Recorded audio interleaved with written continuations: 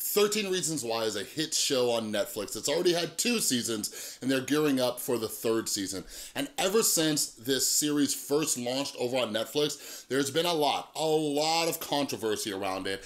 And just recently, there's been a new study correlating the launch of season one of 13 Reasons Why and teenage suicide. And that's exactly what we're gonna be talking about in this video, but there is a very strong trigger warning because we are going to be talking about sensitive subjects. If you are somebody who is struggling right now, please check out the description, turn off this video, and dial the suicide helpline.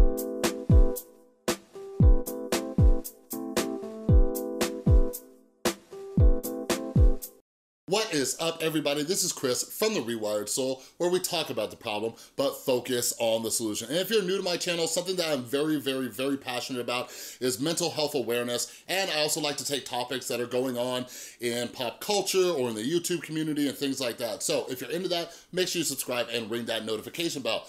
So some of my first videos that actually took off on YouTube were my season two videos about 13 Reasons Why. I did a lot of character breakdowns, I did some social commentary, because like I mentioned, this show has been very controversial. So the history of it, and for those of you who don't know, the show is based on a book and it follows teenagers and it centers around a young woman by the name of Hannah who ends up taking her own life for multiple reasons, right? And a lot of people like spoke out against this when it first launched, saying like, oh, this romanticizes suicide and this is dangerous. They don't have the proper information going out there. There's so many issues, right? And I was somebody who actually defended the show. And at the end of this video, I'm going to give my thoughts and opinions, but I'm just trying to give you the context of what's actually happening right now because a major story just got released. I saw this being shared all over the place because I'm in different mental health groups. I follow a bunch of different mental health Twitter accounts and everything like that. But I, I am somebody who is of the belief that this isn't really affecting people in the way they think it is. But anyways, I'm gonna be reading from the NPR article. So, the so NPR didn't actually do this study, but I'm gonna read their article and link it down below and they talk about the study, okay? So, it first says, in the month following the show's debut in March 2017, there was a 28.9 increase in suicide among Americans ages 10 to 17, said the study published Monday in the Journal of, Amer of the American Academy of Child and Adolescent Psychiatry. The number of suicides was greater than seen in any single month over the five-year period researchers examined. Over the rest of the year, there were 195 more youth suicides than expected given historical trends. So it then goes on to say this, and this is very, very, very important, okay? Because we look at correlation and we look at causation, all right? So it says, Researchers warn that their study could not prove causation. Some unknown third factor might have been responsible for increase, they said. Still, citing the strong correlation, they cautioned against exposing children and adolescents to the series. Okay, so correlation versus causation. A lot of studies show correlation. It is not very often, especially with mental health, where you see causation. Like, for example, there was a correlation between people who grew up in an abusive uh, household and then getting into an abusive relationship when they're older or being an abuser in relationship. So what this study is saying is, like, just looking at the trends, looking at when this show was released, and suicides between the age of 10 and 17, they spiked. Like a 28.7 increase is massive. Like that is huge. And that's one of the reasons why I wanted to make this video because I was personally shocked when I saw how big that increase actually was, all right? Now, the second part of this is what I think is pretty interesting. The spokesperson noted that the study conflicts with research published last week out of the University of Pennsylvania. That study found that young adults ages 18 to 29 who watched the entire second season of the show reported declines in suicide ideation and self-harm relative to those who did not watch the show at all.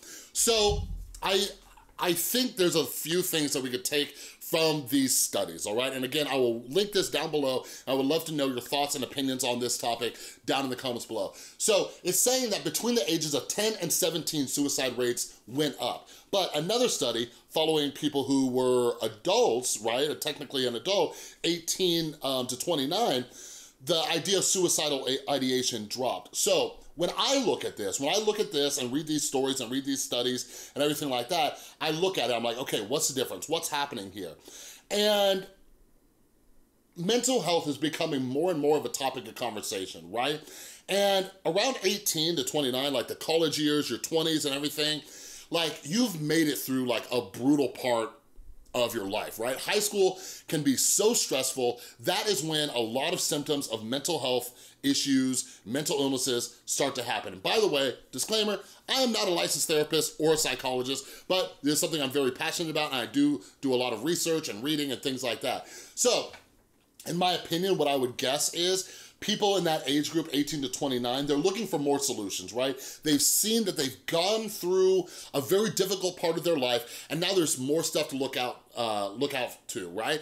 And like, here's the thing, like in high school, like that is your whole world, that is your universe, that is your reality. Everything that happens there, the bullying, the teasing, not being good enough, trying to fit in, that is your entire universe, right? But it's kind of like being on like an elevator, right?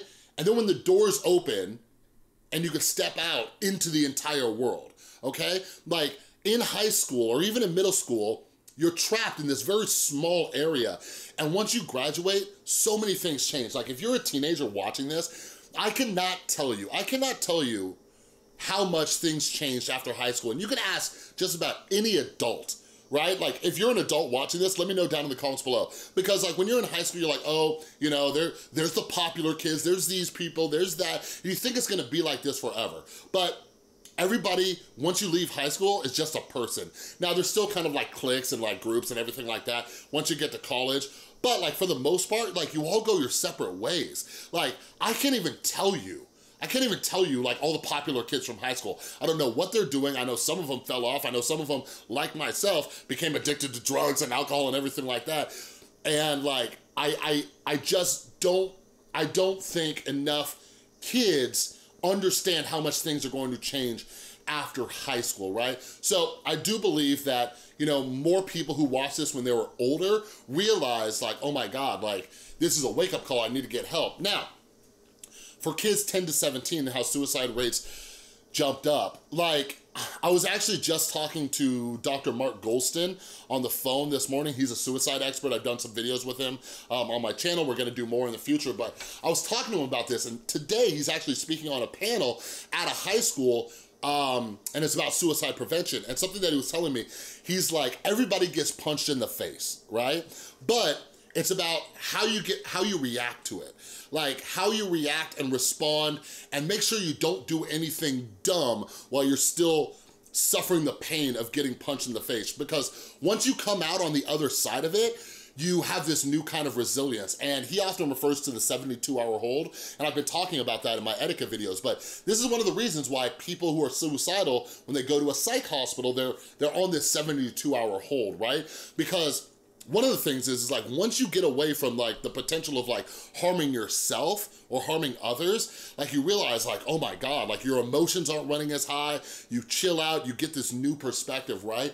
And we know, we know on a biological level, kids are more impulsive. I've talked many times on my channel about the prefrontal cortex. Prefrontal cortex is responsible for a wide variety of things. One of them is impulse control, one of them is emotional regulation. So Kids who do not have a fully developed prefrontal cortex are impulsive and extremely emotional. So they can make very bad decisions based on their emotions. So what is the solution? And here's where my opinion comes in about 13 reasons why. I do believe we need to be talking about this stuff more and not less. Like, Something that I mentioned in my videos um, about the second season when I was doing like character breakdowns and just kind of social commentary on what was going on was that there's this idea, there's this idea of don't talk to kids about serious subjects like suicide and mental health and maybe bad things won't happen. And that is absolutely ridiculous. Absolutely ridiculous, all right? So we as adults, I'm a parent, we need to keep those lines of communication open. But something that this study says, and I'll put it up on the screen right now, that we're talking about, is we have proof. There is evidence that young people are highly influenced by what they are watching, all right? So this is, this is goes for like two things, two things, okay? As parents, I'm a parent, some of you are parents, maybe you're an aunt, maybe you're an uncle, maybe you're just like a mentor to somebody younger than you, make sure you know what they're watching make sure you know what they're watching. I'm not saying that you gotta like spy on them and have all this like monitoring stuff to see what they're watching. You don't need to go that far, but have conversations, say, what are you watching? Walk in their room every once in a while. My son is obsessed with YouTube, watches a ton of YouTube. I know what creators he's watching, what those creators are about, what he's watching. And if there's something that might be a little controversial that he's watching, we have a conversation about it. He's only 10 years old. The second thing is, this goes back to why I am constantly making videos about YouTubers and every, other things going on in the YouTube community, as well as in pop culture, because young people are influenced by what they are watching. And that's why we as creators have a responsibility to recognize that the young people watching our content, our actions, our behaviors are being influenced by that. So the overall message, the moral of this story that I wanna give to all of you is, as adults, we need to have more conversations with our kids. We need to talk to them about this. We need to intervene sooner than uh, later. We need to know what the signs are of depression, of potential suicide. We have to know these things, all right? Um, I was watching uh, the video by Ask a Mortician about the, the what happened at Columbine, and she talked about how uh, one of the guy's moms is actually out there and like trying to increase awareness about all this stuff too, to try to help prevent future school shootings, which is also something that was touched on in 13 Reasons Why, all right? But anyways, again, I've linked the article down below. Please let me know your thoughts, your comments down below. I know 13 Reasons Why is trying to do a better job um, putting in disclaimers, and they did a bunch of stuff before season two. Netflix hasn't made a full statement about this. They made something brief. It's in that article if you want to check it out, all right? But anyways, that's all I got for this video. If you like this video, please give it a thumbs up. If you're new, make sure you subscribe and ring that notification bell because I make a ton of videos. And thank you so, so much to everybody supporting the channel over on Patreon. And if you like what I'm doing here, you wanna help support the channel, get involved in our monthly Q&A and all that stuff, click or tap on that Patreon icon right there, all right? Thanks again so, so much for watching. I'll see you next time.